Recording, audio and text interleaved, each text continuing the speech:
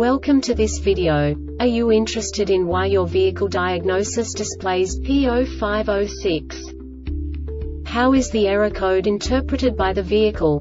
What does P0506 mean, or how to correct this fault?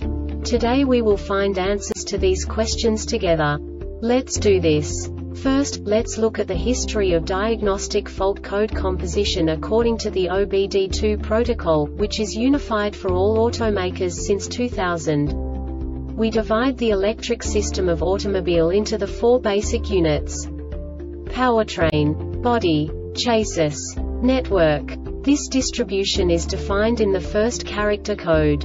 If the second character is expressed as zero, it is a standardized error. In the case of numbers 1, 2, 3 it is a more prestigious expression of the car-specific error. The third character specifies a subset of errors. The distribution shown is valid only for the standardized DTC code. Only the last two characters define the specific fault of the group. Let's not forget that such a division is valid only if the other character code is expressed by the number 0. Our website airbagreset.sk produces useful videos for you.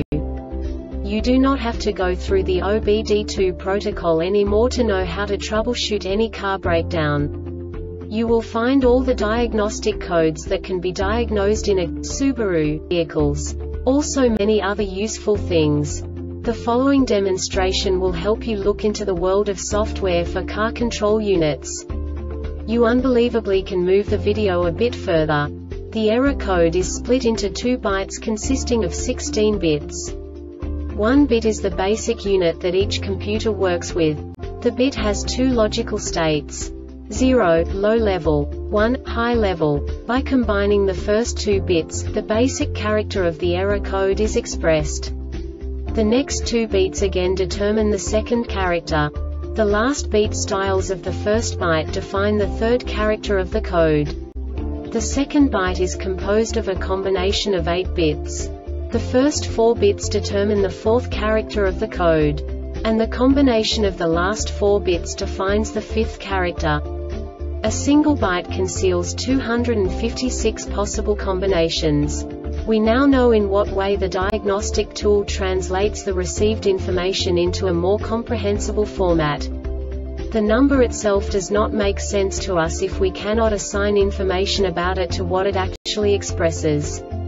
So, what does the diagnostic trouble code P0506 interpret specifically Subaru car manufacturers? The basic definition is DIS timeout multimedia CAN message body CAN signal camera ECS trip computer alternator auto light and now this is a short description of this DTC code.